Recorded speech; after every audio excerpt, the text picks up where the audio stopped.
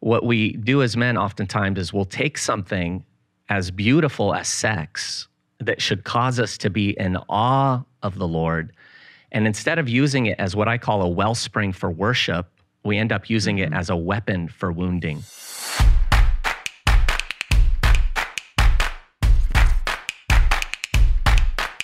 Welcome to the Dial In podcast. My name is Jonny Ardavanis, and I've got an exciting episode for you folks today because I'm sitting with Emeal Zwayne, and uh, he just released a book called Fight Like a Man A Bold Biblical Battle Plan for Personal Purity.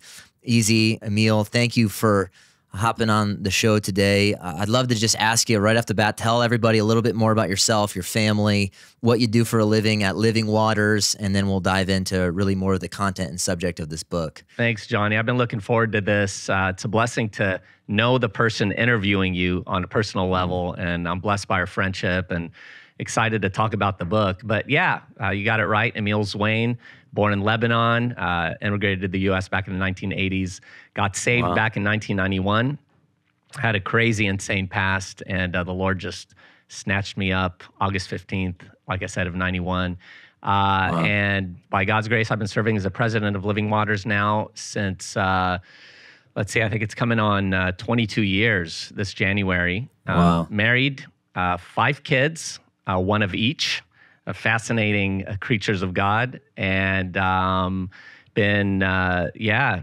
doing the work here at Living Waters with Ray Comfort.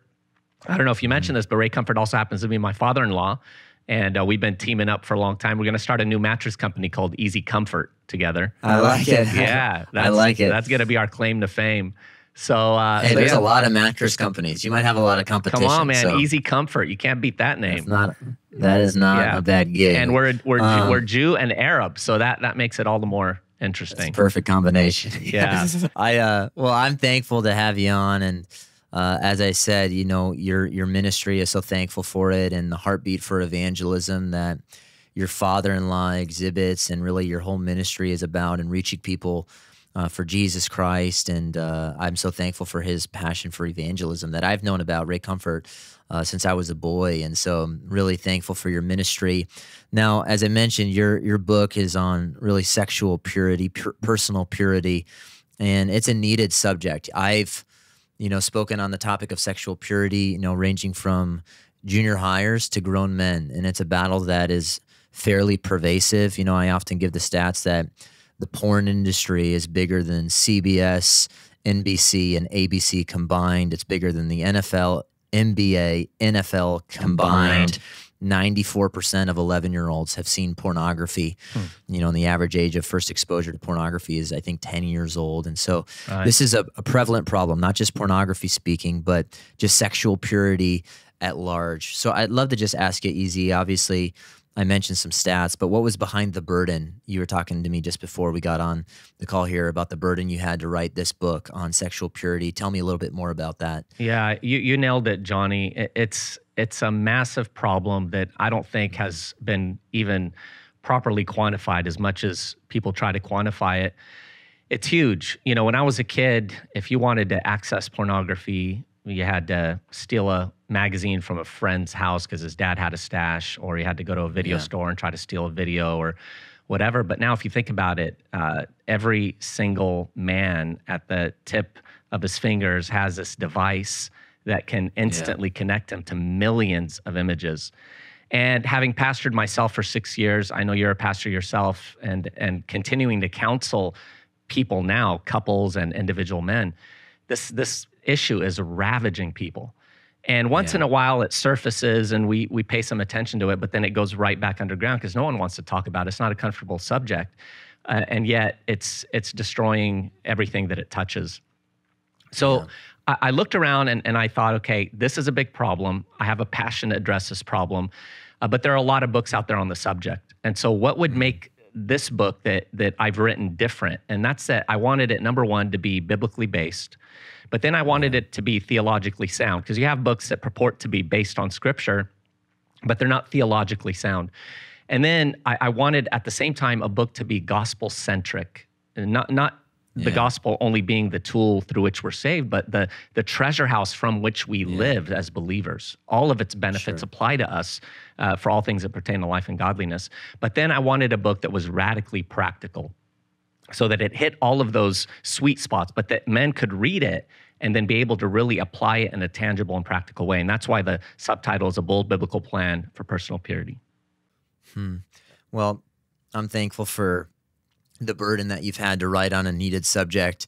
Um, you know, we mentioned kind of the prevalence of the issue today. Um, and, and even as you said, you have to, you know, go to a gas station or, or whatever it may be, or steal a magazine from a father's house. And I forget who who said it, but now there's a brothel in every pocket. Whew. Just you know, uh, just instant exposure to a world of iniquity. Yeah. And this is, you know, um, again, if you're a junior hire or an old man, um, this is not a problem particularly for just young men. It's I've talked to a guy recently that's 70s in his 70s that just told me this is a battle Yeah. every single day of my life. Now, I, I think because we we talk about these, you know, you have the word battle plan within your very title. Let's just talk historically speaking. Let's go biblically speaking Yeah. why has this been such a large issue not just you know we talk about the way that maybe the pornographic world is shifting Hmm. but sexual purity is not a new battle it's actually been one of satan's main arrows Yeah. for thousands of years and maybe just talk about that for a moment and why in particular you think satan uses this particular temptation uh, with so many men Yeah, well, Satan uh, is a master at taking what God has initially designed for good and perverting it and twisting it. And one of the things I talk about in the book is how what we do as men oftentimes is we'll take something as beautiful as sex that should cause us to be in awe of the Lord. And instead of using it as what I call a wellspring for worship, we end up using it mm-hmm. as a weapon for wounding. And mm-hmm. so Satan will will take the very thing through which God replicates image bearers and mm-hmm. ends up using it as as a great weapon for the destruction of men's souls. And scripture is clear, you know, that that any sin that a man commits, uh, you know, he commits outside the body, but he who commits sexual immorality sins against his own body. And so it brings radical, devastating effects with it. And it's so tied into our drive as men uh, in connection with the design of God to create oneness on so many levels between a man and a woman, not just uh, physically, but but but other levels as well. And he takes it and he twists it and he perverts it. But when you think about it, Jonny, you know, the things that are involved in what ends up being sexual immorality. I mean, you've got vision, right? You think of the human eye, 137 million light sensitive cells built into persensitive light meter, wide angle lens, full color instantaneous reproduction. And, and instead of being in awe that I have vision, we take it and we we look at images that we we shouldn't look at. We look at women in a lustful way. You have cognition, the processing of those images. I mean, your brain is beyond any human machine that could ever be conceived. There's no computer on earth that could compare to it. Uh, and then you have coition, which is coitus or or the, the the you know the the mechanism of intercourse. And you look at and you see God's fingerprints all over that. And yet we take it and we twist it. And instead of using it as a wonder for worship, we use it as a weapon, like I said, for wounding. Now you um you know even as I I think through what you said you you mentioned a verse that Paul uh, talks about in 1 Corinthians 6 right that every other sin a man commits or an individual commits is outside the body but the immoral man sins against his own body. You know one of the things I often think about is sometimes we talk about the reality that all sin is equally uh, sinful, right? All sin separates us from God. But sometimes people say, well, what's the difference between my struggle with pornography and your struggle with anger? Well, I would say, well, the Bible says there is something unique and um, different about sexual sin. That's why Paul says, I think it's 1 Corinthians 6 18, every other sin is different than sexual sin. And you kind of talked about that because it involves our drive, it involves the three factors that you mentioned. Um, you know, maybe break down for us E.Z. in your book. You talk about the the three main elements that men have to battle in their fight for sexual purity. Um, talk about those enemies and why it's important that we even, you know, Sun Tzu used to say we need the first thing in our battle is we have to know the enemy. So, Yeah. what are those enemies, and why do we need to understand those enemies? Absolutely. And to those listening, uh, these enemies are are nothing new. Uh, It, it- they are the traditional, standard, ancient enemies of man, and they are the world, the flesh, and the devil. But it's important, I think, to to recognize and understand that, as Dr. John Street said in his amazing book, Passions of the Heart, he said that you know Satan and the world are outward enemies of opportunity that the real enemy is is really the flesh itself. It's that fallen sinful nature. And so the world and the devil come alongside the the real enemy which is the flesh and they become allies with it and they begin to coordinate against our soul. And so yeah it's really important for men to, to understand who the enemy is. And and the problem Jonny oftentimes is that men don't understand the enemy and alongside with that they're not ready for the war because they don't realize they're in war there's a delusion that's going on and Yeah. you know I, I talk about it in the book uh, in, in regards to a man being deluded into thinking that he's on a luxury cruise ship heading for the shores of bora bora when in reality he's on a higgins boat heading for the shores of world war ii normandy and can you Yeah. imagine a guy with this deluded mindset? I mean, he's going to saunter off Yeah. the Higgins boat clad in a bathrobe, some fluffy slippers, and a remote control in his hand. And we both know that this guy's going to get smoked. And so, Yeah. so that's what's going on. And, and those are the three primary enemies. They have undeniable tactics against us, they're nothing new.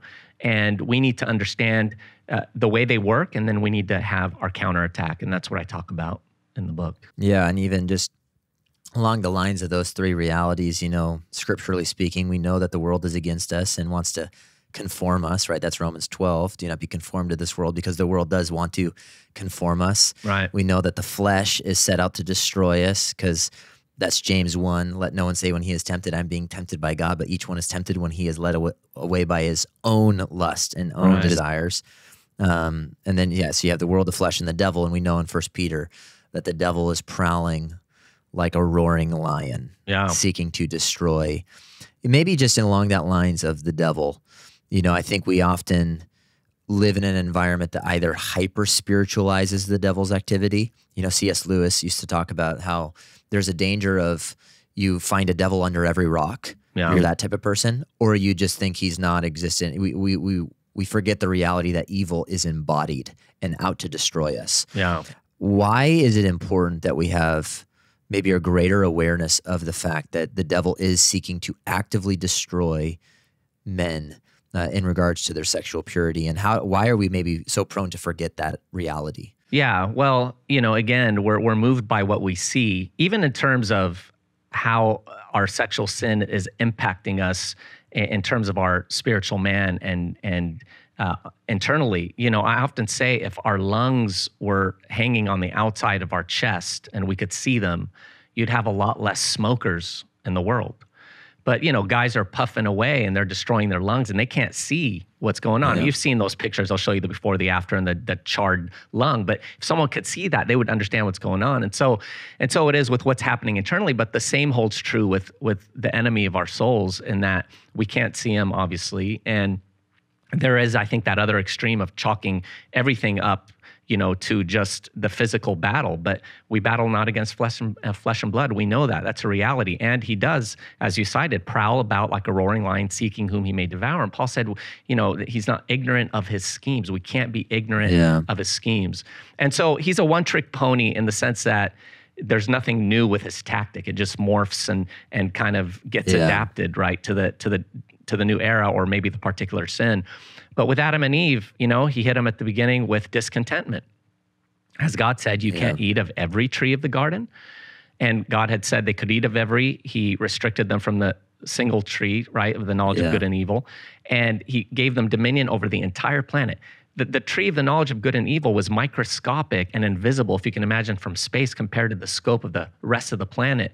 Yet he worked discontentment in their heart. And so Yeah. men, men for their good are commanded by God to abstain from sexual immorality. And it's not just pornography, obviously, we've been talking about that, but it goes into all other different sorts of Yeah. forms of sexual sin but he, he creates this discontentment you can't have this and so uh, instead of uh, being filled with gratitude for the overwhelming blessings of god that abound in our lives we we take that bait and we allow it to destroy us And then uh, there's there's that that that aim towards um, not just discontentment, but also disbelief in terms of the ramifications of sin. So, no, you shall not die. Satan says to Adam and Eve, You shall not die. And so men are deceived into thinking that the consequences for sexual sin, as you highlighted, are not as serious as they are. And then finally, it's deification. No, ultimately, you will become like God, knowing good from evil. You will be the arbiter of what is right or what is wrong in your own life, ultimately, autonomy. And it's the same yeah. thing with sexual sin. Ultimately, it's hey, in a sense, to take the mantra used for abortion, my body, my choice. I could do whatever I yeah. want with it. And so th- those are the main tactics that Satan is still employing against men. Yeah, and it's so true. So you you you just said uh, discontentment, disbelief, a failure to believe that God is for you, and that God is a restricting straitjacket to true pleasure, right. rather than the fountain spring of true joy. Yeah. And then you just third mentioned deification that ultimately we we act as the sovereign in our life. Absolutely. Don't abide and submit to God's design for our sexuality, which again, I think it's worth mentioning that I, I forget who said it, but I always used to tell students that we were sexual before we were sinful. Mm. And, you know, God's, uh, you know, before the fall, God made people sexual beings. That's not Amen. a bad thing. It's a good thing that God created that for his glory. Right. And I think, especially in a church context, sometimes we, we fail to mention that you know, sexual a sexual drive is a good thing. God made it for His glory, but at, to your point, the first thing that Satan does in the garden is distort. Yeah, God made a good thing. It's beautiful, Jonny. It in. in. fact, yeah. you know, when we when we first had the the sex talk with our kids, uh, and we have five kids, and so you know, we we did it with each of them at different stages. But I told my wife, I said, you know, yeah. when we sit down with the kids, I want to present this in the beauty that that truly applies to yeah. it. You know, most parents are nervous, anxious. Oh, you know, their eyes are just going back and forth. They're sweating. We told the kids in the morning, hey, tonight we want to talk to you about something amazing, something beautiful that God yeah. made. And so it's important to highlight that and note it. Well, we're not talking about something you know, perverted, unclean. Yeah. God designed it. He created it. Yeah. It's beautiful. Yeah. Satan has twisted it, and it's time to reclaim it for God's glory in the right way. I think what you're saying is so important in regards to the way that you communicate sex to your children. You know, when I was growing up, sex was, I think, a very faux pas topic. Mm. And you were basically successful as a student growing up in the church if you did not have sex, right. you know, if you were a virgin. Oh. And it, it gave the impression that it can give the impression, at least, depending on the way you communicated as a pastor and as a parent, that sex is something to just stay away from and that it's kind of gilded with shame. Oh. And it's a, um, and so I think actually what it does is elicit curiosity. Hmm. If you know, but if a parent doesn't communicate the beauty of sex to their kids right. and what it is, uh, they'll go Google it, right? Yeah. And uh, someone's going to teach the next generation about sex. It's yeah, going to be absolutely family or the world. Yeah, I love that illustration that says, you know, our children's minds are like warehouses full of empty shelves. And whoever gets there first and stocks those shelves with whatever knowledge or truth or lies, they're going to make it that much harder for someone else to come and unstock and restock those shelves. And so we want to beat the world to it with our children. And and even as adults, you know, we we want yeah. to inform our minds properly with what the word has to say about it. And a lot of people have experienced it in a sinful context in whatever way, yeah. you know, whether before they came to Christ or even in ways they stumbled as a believer before marriage. And so it's important to reorient our hearts and minds with scripture and also for men to recognize, I think another big lie, Jonny, if I can kind of interject with that please. here. You know, there's that that lie in men's minds that they just can't help it. You know, those that are addicted or rather in bondage yeah. to pornography. Uh, we're so accustomed to using the word addicted, and, and I think it's it's yeah. not really the proper word. Uh, but but but there's that bondage to sexual immorality. They think you know I just can't help it, and that's the biggest lie. And I often ask men, I say, look, if Elon Musk put $100 million in an escrow account, and you know yeah. that if you went six months without looking at pornography, you'd get that $100 million, right? You know, there's no question yeah. you would do whatever it takes to do it, and you would succeed. And so, it's not a question of can we, but will we? Will we yield to the Lord? Will we recognize the sweetness of that good word, repentance? Yeah. There's repentance, yeah. there's hope in the Lord. And that's the beauty of the gospel. And that's where, you know, those aspects of the book being gospel centric comes in that because of the gospel there's hope forgiveness and and the ability to walk in newness of life in that regard now, E.Z., you've talked about the reality that there's those three main enemies that's the world, the flesh, and the devil. And those are nothing new. You've already established those have been the same kind of uh, enemies that the image bearers of God have kind of navigated for thousands and thousands of years. Now, if it's the same enemy, the same problem, one of the things that you've alluded to in regards to being a gospel centric solution is that believers now are equipped with the same remedy, and that's the scripture. So maybe talk about the the remedy of that maybe you would prescribe or the, the great physician prescribes to those who are struggling and battling. And that's a key word because I think sometimes we say, I don't know if everybody is even battling. Sometimes I think they're just losing, right? Because to your point, they just think they're addicted, right? So which it's yeah. losing language. But we need to First Peter 1.13, prepare our minds for action. Yeah. Uh, I know you have a principle in your book that you call the NOPE principle. So just talk about uh, the scriptures battle plan. Yeah. You call it that in your book, but what's the principles that you've put in place in the book for personal purity? Yeah, for sure. And and I think you hit the nail on the head in terms of some are not battling. Battle is, is good. It's indicative of resistance. It's indicative yeah. of being in the fight versus surrendering and giving up. And so the, the first and most important thing is to recognize again that in him we have redemption through his blood, the forgiveness of sins. And so the enemy uh, will con you into sin. Our flesh will lead us into sin. The world will influence us towards sin. And ultimately, we make the decision to enter into sin and we bear the responsibility. But we need to recognize that we can we can make the decision then to repent because after those elements have led us into sin then enters the realm of condemnation. And so you battle back with, with the truth of God's word. There is therefore now no condemnation for those who are in Christ. You get up and then you begin to yeah. implement the battle plan to resist each one against Satan in terms of recognizing his, his reality as an enemy and recognizing the victory you have over him, in, over him in Christ, battling his lies with truth, taking up the, the shield of faith and the sword of the Spirit, and being yeah. men that are rooted and grounded in the word. You, you resist the flesh by recognizing that the remedy to the flesh is walking in the spirit, which means to be governed or yeah. controlled by the spirit of God. And you do that by engaging yourself in the things that the Spirit of God is engaged in.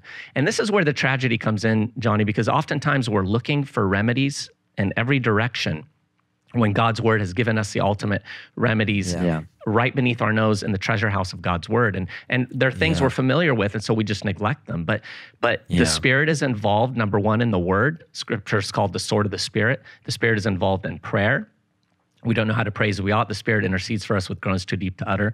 We don't know uh, the Spirit is involved in evangelism. Uh, when the Spirit comes upon you, you will be my witnesses. And the Spirit is involved in, in fellowship, as Scripture talks about the fellowship of the Spirit and that dynamic being interrelated with the Holy Spirit. And so we immerse ourselves in those things passionately and, and proactively. And then finally, we recognize that the that the world is going to come at us with its ways and its foolish wisdom. And so we counter yeah. that by not being conformed to the world, but being transformed by the renewing of our mind. We examine what we let into our lives, into our hearts, into, into our homes, what we put before our eyes. And uh, we take heed to Philippians 4 8 and make that the uh, pathway through which we resist the world's influence because the world has a big bully pulpit and it's coming at us. But the nope principle, do I have time to, to wrap it yeah. up with that? Yeah, yeah, please. Yeah, so, yeah, please. You know, I was counseling a young man one day and uh, asked him how he was doing, uh, you know, with the, with the porn struggle. And he said, man, I'm doing really well. I said, how are you doing as you go about your day? You know, and women cross your path. How are you doing in the area of lust? So he yeah. hung his head kind of in in regret and sort of embarrassment. He said, I'm not really doing really doing too well in that area. And then I sense this like zeal and passion for righteousness and purity rise up in my heart. And I said, brother, you know what? We just have to have this attitude where we just we just say, nope, I'm not gonna give into this. I'm not gonna allow myself to be lured into this and we get this kind of attitude and we even declare it out loud nope i'm not going to do it so the next day i'm i'm driving uh, into the office and the thought pops into my mind. I thought, man, I wish there was an acrostic that could connect with that word nope. And as soon as yeah. I thought it, it popped into my mind. And it's nope, N O P E, not one peek even. And uh, you know, and you think about how it's just that first peek that you that, that you allow yourself to give into that leads to a stare and that leads to that desire uh, developing in your heart. And so, Yeah. so that that hit me really hard. And then I thought, man, why though not one peek even? Uh, not internally, uh, in terms of my mind's eye, not with my physical eye. And I thought because it's fueled by the things that I love. And there are five things that I love that fuel me in that regard. Number one, I love my Lord above all else, and I don't want to dishonor him and disglorify him. I love my lady, the one that I've committed to be faithful to, the one that has become one with me. I don't want to wound her and hurt her. I love my uh, my uh, legacy. Um, or my lineage. I love my children and my grandchildren and those that are uh, are to come after them, and I don't want to ruin that example that I am to them. And then uh, I, I love his lambs. I love God's people uh, that I'm called to be an example to and to impact. And then I love the lost, those that I'm called to be a witness to as an ambassador for Christ. So those are the five loves that fuel me, as I say, not one peek even, for the glory of God. Yeah. Well, I love the analogy, not one peek even, you know, and it's a biblical thing because Paul says not even a hint Amen. of sexual immorality must even, he says, even be named among you. It should be so far, so distinct, so separated from Right. the life of a believer. Yeah. that, um, yeah. it's not even a hint. Amen. And you know, for the men that are listening right now, uh, I know that you know when this subject comes up and men are enmeshed in this and embroiled in it, it it's one of those things where they just kind of want to run. But again, men, I want to encourage you to recognize the hope that you have in Christ. That He specializes in restoration. He specializes in renewal. And even though you're thinking, I've been in this for a long time, there's hope for you in Christ. There's hope in the benefits that we have in the gospel as believers. And for you women that are listening to whose husbands are struggling or whose sons are struggling, uh, don't give up crying out to the Lord for them and and and speaking truth into their life from the depth of your soul of how destructive and harmful this is. And it's just my prayer that the Lord will will take this book and and use it as a tool. I've been blessed by the response. You know, Jonny, Dr. John MacArthur endorsed the book. He said every man needs the help this excellent book offers. And uh, Ken Ham wrote the foreword to it. It's been endorsed by a number of different Christian leaders. And even in pre release, I was blown away and blessed by the success it had on uh, Amazon. It had hit number one in its category and was one of the top books on there. And so it's uh, it's an encouragement. Praise the Lord.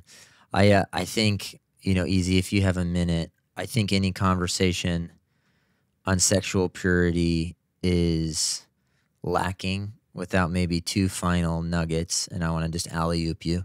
No, I'm uh, you know, I can be John Stockton. You can be Karl Malone. I'm ready to dunk, brother. Sorry to call you Karl Malone, but I uh, one, and you mentioned it, but it's worth punctuating.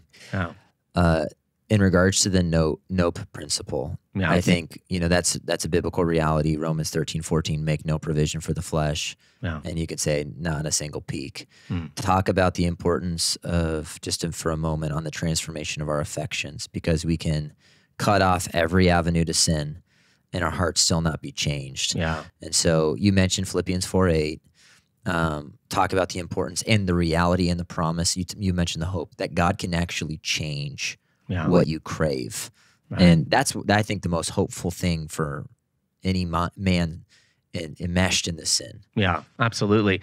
Well, you know, it, it ultimately comes down to the fear of God because you can you can implement every sort of safeguard that you want, but if your heart is not changed, if if you don't walk in that awe and that reverence and Yeah. and that adoration of the Lord, then then it's all it's all Yeah. going to fall apart. And so so it comes down to to becoming a man who truly makes Christ your everything, who who Yeah. repents and returns to your first love and you know who understands that when you sin in this way you are sinning in the shadow of the cross and in essence you're saying what Christ did really meant nothing. And and so you're spurning the cross. And that's one of the points that I touch on in the book. There are these six C's. I call them the six C's to succeed.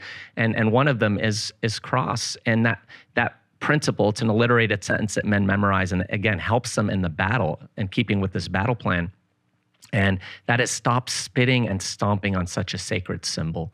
Stop treating the cross as though it means nothing. And and so when you, you know, as Peter talks about, he gives that whole in Second Peter 1, he gives that whole list of virtues that should mark us as believers. And then he says, He who lacks these things is short-sighted, even to blindness, and has forgotten his Yeah. purification from his old sins.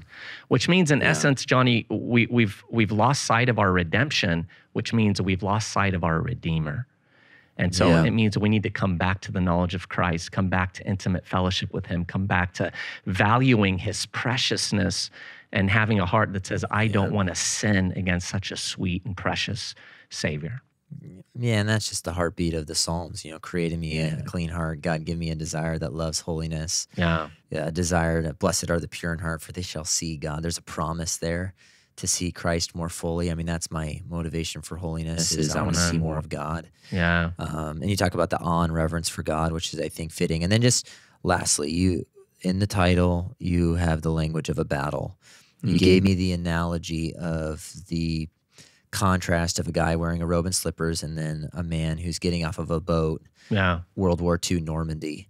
The danger in any, you know, and in any subject that we're reading about individually is to think we can go about this battle alone. Right. You know, battles are fought with comrades and with men in the trenches. Yeah. And I think there's a danger of reading a book alone and, And praying alone and reading Yeah. the Bible alone, which might be good disciplines, right? Hmm. But battles are fought with brothers. Yeah. And so just maybe talk about that reality uh, for a moment. Yeah, you know, honestly, Jonny, if, if it weren't for the men that have been a part of my life for years, some of them decades, um, there's no way I, I could have even come close to writing a book like this because, again, the enemy assails all of us as men. And the reason why I, I think I'm so connected to the book is because I'm a man and I have the same nature as men, and I understand the lure and the temptations that bombard us. But brothers in your life you know there there are a number of different men that i meet with on a regular basis for for accountability for prayer for a sounding board you know sometimes i look at believers that have been in christ for years and years but their their growth is stunted because they live in an echo chamber and they don't have other men that are asking them the hard questions that are calling them to account and that are that are sharing with them ideas and thoughts and, and biblical principles through which they can grow and and be protected in fact, the, um, my wife and I, there's a couple that we've been meeting with for years. And recently we started kind of a, a new approach where we'll meet together as couples, we'll have dinner together and get accountable on our marriages. And then we'll split up and we'll go to a coffee shop and I'll hang out with him, she'll hang out with his wife, and we'll get accountable as, as men and then as women uh, with each other. And it, it's revolutionary, it's transformational and uh, and the Lord has given us our, our brothers in the body of Christ to help us in that fight and battle. And so men are famous for isolating themselves. They're famous for not getting open and raw, but it's to our detriment. And so that's one of the things I'd encourage the men listening today to do. Get with a brother, open your heart up to him, tell him where you've been, what's been going on, and to get then get real accountability and get serious with your sin. Yeah, and I think in my own life, that's for me been uh, so important is to communicate to the men in my life the subtle ways that my own flesh and the devil can assail me. Right. And uh, for me, that means maybe saying no to morally neutral things Mm. that can have a detrimental impact on my mind and heart before the Lord. Yeah, and may maybe mean you don't watch certain show, certain shows or something like that, or Yeah, totally. And you know, um, some some men think that uh, they they can't help it. Other men are deceived into thinking that they can't fall in that area. Maybe they haven't, and they, Yeah. they're deceived. But I love what Voddie Baucham said. You know, he said, if you think you can't fall into sexual sin, in essence, you're saying that you're wiser than Solomon, stronger than Samson, and more godly than King David. Yeah. And that, that's that's an eye opener. That the greatest of men in, in those different areas have fallen into sexual sin. Of course you can. And those who say they can't are the ones that often do. And so that's, that's, scriptural too. Yeah. Take heed lest you fall. right? amen. So he who thinks he stand, that's right. And you know, and recognize that that uh, you can, and so you need to be wise. And that's one of the schemes Yeah. of the enemies. He deceives us into thinking, no, we can stand, and and Yeah. um, so we don't take the necessary steps to reinforce ourselves and strengthen ourselves in that area. No, well, E.Z. Thank you. I'm excited for your book. Again, that's Fight Like a Man, a bold biblical battle plan for personal purity. And that's a key word biblical because the world has strategies, our flesh has strategies. Uh, that wane, our conscience at times wanes. You know, the conviction over sin, we can become desensitized and callous towards sin. Right. E.Z, I uh, haven't ever concluded an episode like this, but would you just pray for maybe any man seeking purity, uh, wanting to honor the Lord, maybe that even feels trapped in sin. Um, would you just pray for us as we conclude this episode and uh, point them to the truth ultimately of God's word and the power of God's Spirit? Absolutely. I would be honored, Jonny. Thank you. Father, we bring our hearts before you as men. And I know we're doing this, Lord, as we're thousands of miles away from each other. And it can seem like something that doesn't really have effect in the minds of many, but we recognize that, Lord, you listen to the cries of your people, that even in this very moment, you're attentive to our, our prayers, that, Lord, you affect change through your people lifting up their voices to you. And we just pray for the men listening right now who are in that place of bondage to sin, who have become willing slaves, Lord. We pray that you would dispel the lies of the enemy in their hearts and minds. We pray that you would reverse the influence of the world.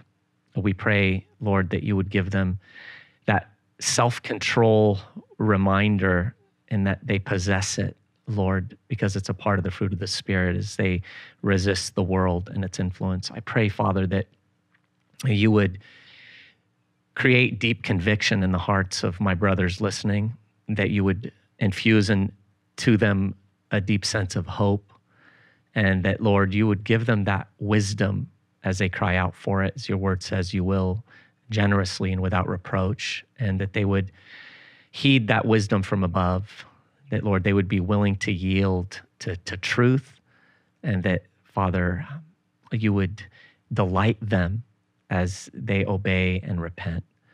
And I pray that you would restore the, the lives that have been ravaged, the marriages that have been broken.